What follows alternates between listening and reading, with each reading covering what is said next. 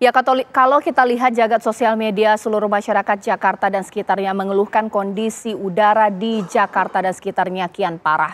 Bahkan dari tangkapan mata saja ini begitu tidak jernih dan juga berkabut. Itulah kekhawatiran masyarakat. Apa yang akan dilakukan oleh pemerintah? Betul, Presiden sudah bersikap mengeluarkan arahan. Pertanyaannya, bisa tidak langsung selesaikan kondisi polusi udara di Jakarta? Ataukah lagi-lagi pemirsa kita harus bersahabat dengan polusi? Dan berdampak pada kesehatan kita.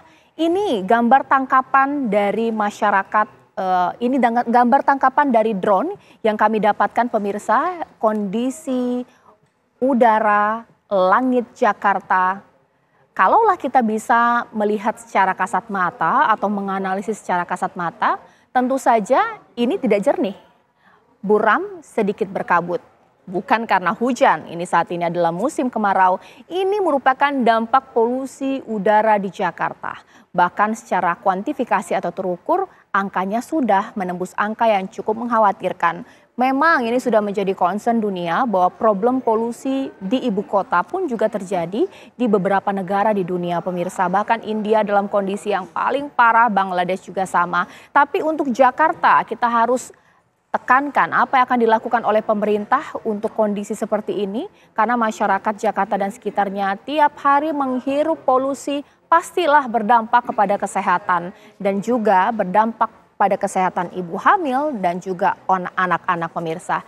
Nah, tidak hanya gambar yang kami hadirkan lewat drone, bahkan kalau Anda melihat dari postingan masyarakat di sosial media, pernah juga memfoto langsung ketika berada di pesawat dan melihat begitu begitu uh, begitu tidak jernihnya langit di Jakarta atau juga di gedung-gedung perkantoran melihat kondisi di pagi hari yang seharusnya lebih jernih tapi ternyata itu tidak kita dapatkan di ibu kota Jakarta pemirsa. Pertanyaannya, kondisi ini mungkin tidak separah saat ini ketika pada saat pandemi COVID-19 di mana masyarakat banyak sekali harus bekerja dari rumah atau kondisinya adalah WFH banyak yang mengatakan bahwa saat ini kondisi udara di Jakarta kian memburuk karena aktivitas yang sudah kembali normal, kendaraan-kendaraan begitu banyak di ibu kota, kemacetan dan lain-lain. Tapi pertanyaannya apakah hanya kendaraan bermotor saja yang harus kita salahkan?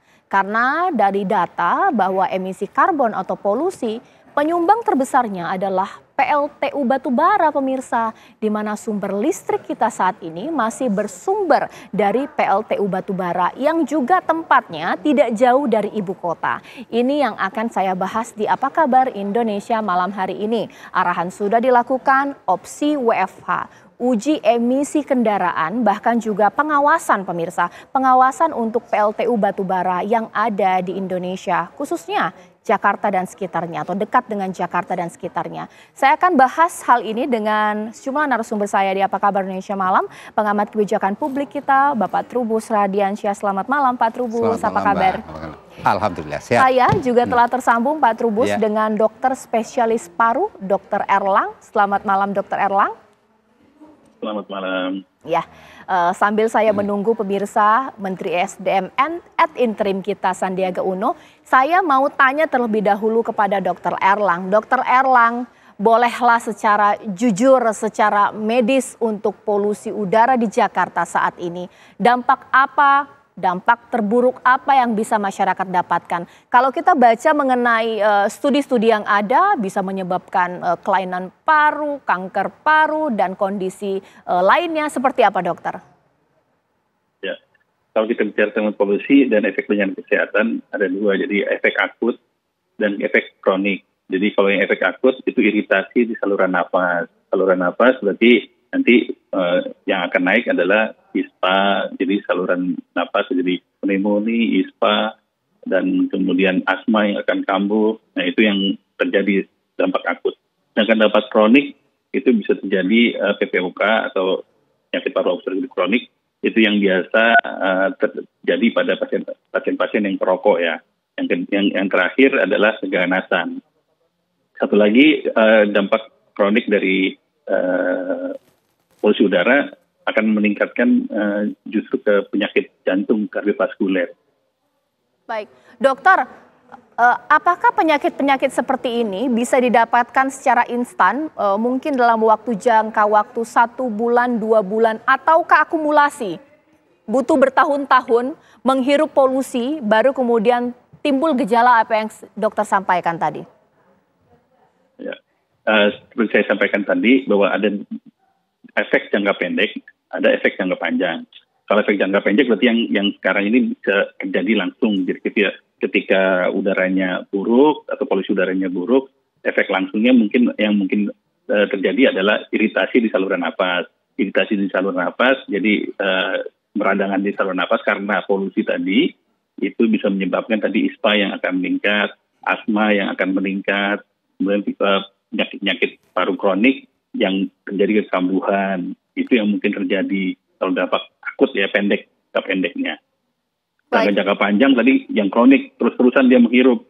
Jadi uh, jangka waktu lama 5-10 tahun yang tadi uh, penyakit jantung akan meningkat, kemudian uh, satu lagi adalah penyakit kanker yang akan meningkat. Baik, ditahan dulu Dokter Erlang. Mungkin sekarang saya ke Pak Trubus. Ya. Pak Trubus, baru kemarin tepatnya Presiden menggelar rapat terbatas. Sekiranya hal ini sudah tepat ataukah jangan-jangan terlambat? Masyarakat sudah lama teriak-teriaknya tentang polusi ini? Iya, kalau melihat kondisi yang ada sebenarnya sudah terlambat, Pak. Karena setahun yang lalu, itu 2002, itu sudah ada putusan pengadilan gugatan class action dari masyarakat bahwa pemerintah diminta untuk serius menangani itu. Tetapi yang terjadi malah pemerintah kasasi terhadap putusan itu. Harusnya kan tinggal melaksanakan saja apa yang diminta oleh publik saat itu. Nah, tetapi sesungguhnya pemerintah sendiri memang kebijakannya banyak kontraproduktif kan. Di satu sisi saling melemparkan masalah kepada entah itu transportasi, entah itu kendaraan uh, pribadi, dan pada belakangan juga pada apa uh, terkait dengan industri gitu. Jadi nggak jelas arahnya mau ke mana. Yang ada itu adalah bahwa uh, semua kebijakan yang dilakukan pemerintah tidak membuat persoalan polusi ini selesai malah dari waktu ke waktu kan ini kan kronis dari tahun ke tahun begini saja tidak ada perubahan bahkan ada dikatakan sampai 15 tahun selama belakang ini tidak ada perubahan sama sekali terhadap kondisi penanganan polusi di Indonesia ini sendiri. Oke, kalau kita mengkaji mengenai kebijakan yang diambil negara lain, masalah polusi, masalah hmm. negara lain juga, hmm. negara perkotaan khususnya, negara yang memiliki kota-kota besar seperti eh, Jakarta, hmm. Indonesia dengan Jakarta uh, apakah mereka juga bisa menyelesaikan masalah polusi atau juga sama polusi ini sulit? Iya, kalau sebenarnya semua negara punya kebijakan sendiri-sendiri ya dalam hal ini penanganannya. Terlepas memang ini ada persoalan kan ada kepadatan penduduk itu ya. kan menjadi problem tersendiri demografi itu. Tetapi yang jelas semua intervensi pemerintah itu sangat penting dan hmm. di beberapa negara yang melakukan intervensi apa kuat terhadap ya. kondisi yang ada melalui kebijakan itu itu berhasil mbak tidak sampai panjang kalau kita kan ini lama bahkan kemudian ada asumsi-asumsi toh nanti uh, seperti ditiup aja selesai gitu artinya okay. sebentar saja selesai nah yeah. ini ya. kan asumsi yang kemudian menjadikan masyarakat memandang apa penanganan polusi di Indonesia tidak berjalan optimal. Oke, okay. gitu, sesaat lagi pemirsa saya akan berbincang dengan Menteri SDM at interim untuk menanyakan kepada beliau apa yang dilakukan untuk mengatasi polusi udara di Jakarta, WFA, pengawasan PLTU, ataukah jangan-jangan solusinya mobil listrik Pindah ke IKN sesaat lagi. Terakhir, kualitas udara di Jabodetabek sangat sangat buruk dan tanggal 13 Agustus 2023 ya kemarin indeks kualitas udara di DKI Jakarta di angka 156 dengan keterangan tidak sehat. Memang terdapat beberapa faktor yang menyebabkan situasi ini, antara lain kemarau panjang selama tiga bulan terakhir yang menyebabkan peningkatan konsentrasi polutan tinggi, serta pembuangan emisi dari transportasi, dan juga aktivitas industri di Jabodetabek, terutama yang menggunakan batu bara di sektor industri manufaktur. Saya memiliki beberapa catatan yang perlu menjadi perhatian seluruh kementerian dan lembaga terkait.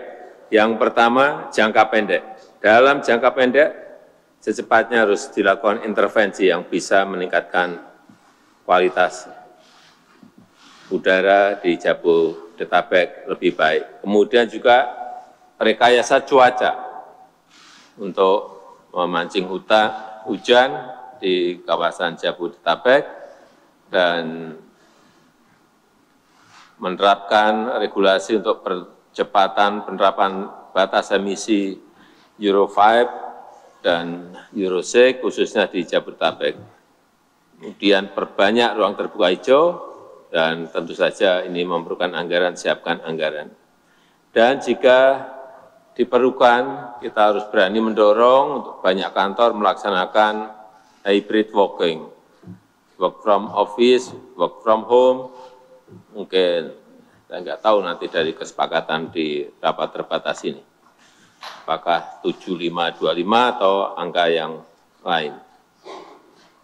Yang kedua, dalam jangka menengah, konsisten melaksanakan kebijakan mengurangi penggunaan kendaraan berbasis fosil dan segera beralih ke transportasi massal.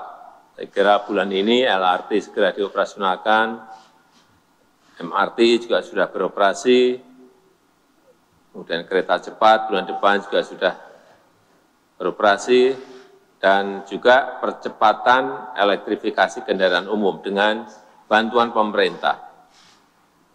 Yang ketiga, dalam jangka panjang, untuk perlu memperkuat aksi mitigasi dan adaptasi perubahan iklim. Harus dilakukan pengawasan kepada sektor industri dan pembangkit listrik, terutama di sekitar Jabodetabek. Dan yang terakhir, mengedukasi publik yang seluas-luasnya. Itu dia arahan dari Presiden solusi jangka pendek dan jangka panjang. Langsung saja saya akan tanyakan kepada Menteri SDM at interim baru, Mas Menteri Sandiaga Uno. Selamat malam, Assalamualaikum Mas Menteri, apa kabarnya? Waalaikumsalam warahmatullahi wabarakatuh. Terima kasih, baik-baik saja Mbak Caca Anissa. Terima kasih TV One. Baik, Mas Menteri, kita sudah tahu sebenarnya detail dari arahan uh, Presiden mengenai polusi udara Jakarta dan sekitarnya. Saya coba untuk mengambil dua topik saja yang sesuai dengan tupoksi dari Mas Menteri, Menteri SDM uh, at interim. Yang pertama kita bahas mengenai banyaknya kendaraan di ibu kota Jakarta dan sekitarnya. Apakah lagi-lagi masyarakat harus disalahkan dengan kondisi ini? Siapa yang menjual mobil? Bahkan saat ini juga ada pameran mobil di BSD, masyarakat bisa beli mobil murah, kendaraan bermotor, tapi ketika sudah banyak disalahkan masyarakat. Seperti apa ini kemudian menjawabnya? Ya, pertama-tama saat uh, rapat terbatas kabinet uh, Senin 14 Agustus 2023 lalu, ada beberapa intervensi yang harus kita lakukan dalam jangka pendek uh, dan jangka menengah. Ini antara lain adalah modifikasi cuaca karena musim kemarau ini mengakibatkan angin kering dari timur yang tentunya perlu segera kita intervensi dengan hujan buatan. Selanjutnya ada fokus kepada kembalinya work from home. Kami di uh, Kemenparekraf sudah mengambil kebijakan 41 dan ternyata itu juga diterapkan di DKI dan di uh, Jawa Barat dan juga di Banten uh, empat hari work from home dan satu hari untuk koordinasi work from office. Selanjutnya di jangka pendek jangka menengah Eh, pengurangan dari kepadatan lalu lintas dengan penggunaan kendaraan umum MRT. Saya tadi pagi sudah mencoba dan juga uh, agenda elektrifikasi daripada kendaraan sehingga mengurangi uh, kendaraan berbasis fosil. Jadi uh, beberapa intervensi ini bisa kita lakukan segera. Ya. Dan juga kita dorong terus uh, bagaimana penanganan industri di uh, sekitar Jabodetabek ini untuk lebih menggunakan pembangkit yang ramah lingkungan termasuk juga penggunaan uh, scrubber atau uh, filter agar mereka tidak memberikan emisi karbon yang uh, sekarang dirasakan betul-betul Eh, dalam kondisi yang buruk dan tidak sehat. Saya sendiri mengalami ini karena saya rutin berolahraga pagi dan tentunya langkah-langkah intervensi ini harus dalam jangka pendek kita lakukan agar kondisi ini tidak uh, semakin memperburuk uh, baik dari ya. kesehatan ya. maupun juga reputasi uh, Indonesia sebagai uh, Jakarta sebagai ibu kota dan pusat ekonomi Indonesia. Baik, uh, Mas Menteri, uh, WFA ini kan menjadi solusi jangka pendek ya, karena memang tidak selamanya pengusaha mau karyawannya bekerja di ru dari rumah, efisiensi pastinya. Kalau untuk kendaraan berbasis fosil yang saat ini sudah terlanjur banyak, solusinya seperti apa? Kan tidak mungkin mereka tidak menggunakan terbengkalai saja di rumah atau dihancurkan, diganti mobil listrik, ini seperti apa? Ya, uh, intervensinya juga jangka pendek antara lain memperlakukan kebijakan Euro 5 dan 6 ini uh, agar yang kendaraan yang berbasis fosil ini tentunya uh, lebih ramah lingkungan dan untuk mendorong lebih banyak elektrifikasi dan penggunaan kendaraan listrik, electric vehicle, sekaligus juga uh, memperbanyak stasiun pengisian kendaraan listrik umum. Ini kalau saya lihat ya, penanganan yang paling krusial ini adalah menjaga kesehatan masyarakat akibat polusi udara. Ini karena sudah uh, banyak laporan dan Menteri Kesehatan sendiri menyatakan dari uh, total biaya yang dikeluarkan untuk penyakit yang berkaitan dengan saluran pernapasan ini sampai 10 triliun rupiah per tahun. Nah, oleh karena itu, uh, jika keadaan udara yang sangat buruk atau kualitas udara ini di atas angka yang tidak sehat, maka WFA ini harus di, dilakukan. Dan untuk mengurangi emisi, uh, karena dari sektor transportasi sendiri Caca itu sekitar menyumbang 44 persen uh, untuk polusi. Sisanya dari uh, industri, karena ada juga kontribusi dari sektor industri yang uh, mengkontribusikan sekitar 30-an persen. Sementara juga nanti yang di perumahan komersial dan rumah tangga ini juga harus uh, memastikan mereka melakukan langkah-langkah uh, jangka pendek ini. Misalnya dari industri kita dorong pengalihan pasokan listrik dari pembangkit sendiri milik industri ini menjadi pelanggan PLN sehingga pembangkit listrik sendiri yang menggunakan batu bara ini bisa kita tekan. Ya. Selanjutnya penerapan manajemen energi, Caca. Ini uh, untuk industri di kawasan Jabodetabek ini untuk kita kurangi emisinya termasuk juga pemasangan uh, eh, PLTS atap. Tapi okay. kita di rumah tangga juga punya kontribusi, Caca. Seperti bagaimana kita uh, melakukan elektrifikasi kompor. Baik. Selama ini kalau kita memakai uh, kompor yang berbasis uh, energi fosil ini kita uh, tukar dengan kompor induksi. Ini juga kita lihat akan mengurangi emisi secara tentunya jangka pendek. Ini yang bisa kita lakukan karena ini menurut semua peserta rapat terbatas menjadi prioritas. Baik, Mas Menteri, salah satu hal yang akan dilakukan untuk mengatasi masalah ini, polusi ini adalah yang paling cepat dilakukan oleh Jakarta adalah razia kepatuhan uji emisi kendaraan bermotor. Ini bisa tidak dilakukan dengan secara mendadak tanpa adanya sosialisasi terlebih dahulu. Pastilah masyarakat kaget tiba-tiba diberhentikan dan dicek sana sini seperti apa Mas Menteri? Ya, eh, kita akan pastikan bahwa sosialisasi ini dilakukan segera dan eh, juga kita memiliki uh, satu peluang agar bengkel-bengkel ini menyiapkan uh, menyiapkan bahwa selama ini kendaraan bermotor yang uh, belum dipasangkan satu tambahan seperti alat yang bisa menurunkan emisi uh, ini perlu kita lakukan Baik. dan juga sosialisasi ini uh, bisa kita pastikan Baik. untuk uh, mendorong bagaimana caranya agar kepatuhan kita terhadap uh, uji emisi ini bisa lebih Baik. ditingkatkan. Termasuk juga usulan dari Ibu Menteri uh, LHK adalah uh, bagaimana di uh, jalanan ini lebih disosialisasikan Baik dengan uh, memperhatikan kendaraan-kendaraan yang masih uh, tidak patuh terhadap Baik. uji emisi ini supaya ada efek yang uh, langsung dirasakan. Mas Menteri. Sehingga kendaraan-kendaraan uh, ini tidak uh, tidak lagi beroperasi di Mas jalanan, Menteri. tapi harus segera uh, mematuhi uh, peraturan Menteri LHK Mas tentang Menteri. baku mutu emisi um, yang sekarang ini sudah uh, mestinya lebih ketat ya, uh, Mas untuk Menteri. diterapkan. Mohon maaf Selain satu. itu juga Mas Caca, Menteri. terakhir peraturan Menteri ya. LHK ini tentang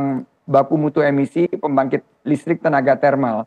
Baik. Ini juga kan ada beberapa pembangkit listrik tenaga termal yang ada di sekitar wilayah Jabodetabek. Uh, ada PLTGU, Muara Betul. Karang, Betul. Muara Tawar, Priok, Lontar, Betul. Babelan. Ini uh, dipastikan harus uh, semua sesuai. Baik. Dan juga ada beberapa pembangkit besar di Suralaya, di Banten itu juga menjadi pokok pembahasan. Baik. Namun yang paling cepat bisa kita lakukan adalah bagaimana kita fokus kepada masalah kesehatan Betul. dengan Mas penerapan ya. uh, kebijakan-kebijakan jangka pendek. Baik Mas Menteri, satu hal yang juga dikritik adalah uh, kalaulah kemudian kita migrasi dari mobil berbahan bakar fosil dengan mobil listrik padahal saat ini konsumsi listrik kita dari PLTU batubara itu sama saja, batubara juga penyebab emisi karbon. Lantas PLTU batubara yang begitu banyak saat ini apa? Dipensiunkah, ditutupkah atau seperti apa? Sebagian besar PLTU batubara yang baru saja selesai dibangun ini sudah menggunakan teknologi uh, supercritical. Jadi emisi karbonnya bisa ditekan sesuai dengan peraturan Menteri LHK P15 2019 tentang baku mutu emisi pembangkit listrik tenaga termal. Namun bagi yang sudah berumur uh, mungkin dari tahun 80-an 90-an juga ada ini harus kita pastikan agar segera untuk bertransisi uh, dan kita mendorong bahwa Baik. penggunaan energi baru dan terbarukan untuk jangka menengah dan jangka panjang. Baik. Memang ini keputusan yang sangat sulit. Baik. Uh, kita harus mengambil uh, suatu kebijakan yang berani karena ini uh, akan mempengaruhi kesehatan masyarakat dan uh, reputasi kita. Baik. Uh, bisa diingat Beijing beberapa tahun yang lalu juga mengalami masalah yang sama, tapi mereka bertindak dengan sangat tegas, ya. uh, mengambil keputusan yang drastis, yang Baik. fundamental, Baik. dan ini saatnya uh, kita juga harus mengambil uh, keputusan yang uh, tentunya pasti akan dirasakan uh, berat untuk diambil, Baik, tapi untuk jangka panjang ini menjadikan uh, suatu prasyarat. Bagi kita Baik. bisa menuju negara maju. Terima kasih atas waktunya Mas Menteri. Selamat bekerja. Menteri SDM at interim sudah di Apa Kabar Indonesia Malam. Kita tunggu nanti langkah cepat. Tapi pemirsa saat lagi saya akan hadirkan kepada Anda ini jawaban dari dokter spesialis paru. Langkah cepat bukan berarti cepat besok selesai polusi tidak mungkin. Apa yang harus kita lakukan? Cukupkah dengan menggunakan masker medis? Sesaat lagi. Ya sekarang saya akan tanya bagaimana ini pendapat masyarakat terkait dengan ini begitu banyaknya informasi tentang berapa ini kondisi udara Jakarta, buruk, sedang atau seperti apa. Rekan saya Ikra sudah siap mengabarkan langsung dari wilayah Jakarta Pusat. Ikra silakan. Ya selamat malam Caca dan juga pemirsa. Untuk kualitas udara di stasiun pemantau kualitas udara di Bundaran HI Jakarta Pusat ini saat ini berada dalam kategori sedang, di mana sudah ada peningkatan lebih baik daripada hari sebelumnya, di mana uh, di hari sebelumnya ini dalam kategori yang cukup tinggi. Dan dari situs yang kami dari pantauan dari situs IQ Air ini kami lihat uh, angka kualitas udara di, di Jakarta ini berada di angka 111 yang di mana termasuk ke dalam zona oranye, di mana pada hari sebelumnya angka tersebut menyentuh angka 152, yang artinya itu tidak sehat dan berada dalam zona merah. Dan hari ini sudah ada di dalam zona orange, di mana zona orange ini artinya tidak uh, tidak sehat untuk kategori untuk beberapa orang tertentu. Sementara demikian Caca. Baik, terima kasih Ikra. Ternyata Ikra tidak bertanya kepada masyarakat, tidak mengapa pemirsa karena durasi saya begitu singkat. Langsung saja saya akan tanyakan kepada dokter. Mungkin ini merupakan pertanyaan Anda tunggu-tunggu. Apa yang bisa kita lakukan sambil pemerintah bekerja untuk mengatasi polusi udara di Jakarta? Dokter Erlang, apa yang bisa kita lakukan masyarakat untuk memproteksi diri? Cukup tidak ya menggunakan masker medis? Masker medis kita gunakan pada saat COVID-19 kemarin cukup efektif. Seperti apa dokter Erlang? Ya, uh, kan bahaya polusinya ada di luar di luar rumah di, di, lingkungan ya. Jadi yang harus dilakukan ketika beraktivitas di luar di luar kita, kita harus menggunakan masker. Masker apa? masker mempunyai uh, efektivitas dan efisiensi terhadap penyaringan uh, tergantung dari jenis maskernya. Apa pun itu maskernya uh, akan mengurangi dampak risiko terhadap kesehatan. Itu satu. Kemudian uh, yang kedua adalah hindari untuk beraktivitas di luar karena di luar ada polusi udara yang cukup uh, tinggi sehingga dia sarankan untuk aktivitas di dalam ruangan. Nah, uh, yang ketiga kalau di dalam ruangan kan ada uh, dari luar yang masuk. Jadi di dalam ruangan sebaiknya dipasang air purifier untuk uh, memurnikan dari uh, ruangan itu.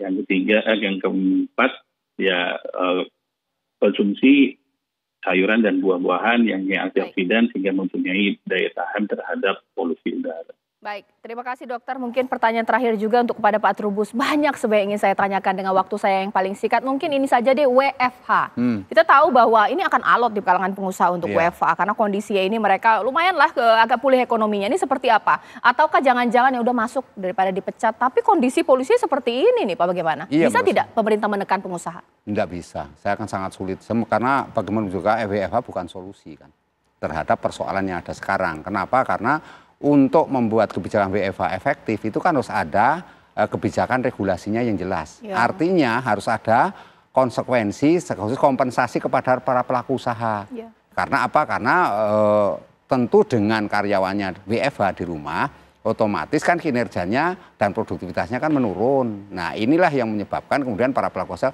pasti keberatan. Saya rasa itu yang kedua menurut saya memang pemerintah kalau sungguh-sungguh menekan WFH ini kan harus di apa melalui sosialisasi saya rasa nggak akan masyarakat nggak akan patuh untuk itu. Karena ya. apa e, kondisinya sekarang sudah sudah normal ya. Kalau dulu kan kondisi force major kondisi ya. karena pandemi itu aja masyarakat banyak yang membantah yang bangga mhm. nggak mau kan. BFA tetap aja maunya keluar. Nah sekarang dengan mobilitas yang tinggi saya rasa masyarakat dengan BFA itu nggak akan jalan. Kalau untuk kebijakan untuk apa ASN aja mungkin masih bisa. Tapi itu juga sangat sulit ya sangat lama lah nggak prosesnya. Tetapi untuk ya. masyarakat saya yang artinya swasta lah ya itu sangat sulit mbak apalagi tingkat-tingkat sekolah-sekolah kampus-kampus sudah pada masuk semua terus mereka harus harus WFH ya, lagi ya. mengulang masa lalu ah, betapa repotnya orang tua di rumah harus Baik. mendidik anak juga kan itu itu artinya bahwa arahan dari Presiden Jokowi kepada para hmm. menterinya dianggap agak sulit diterapkan karena ini merupakan solusi teknis bukan menjangkau hal yang paling esensial hmm. relasi ekonomi politik aktor-aktor terkait seperti apa singkat saja iya menurut saya itu apa menjadi masalah karena apa karena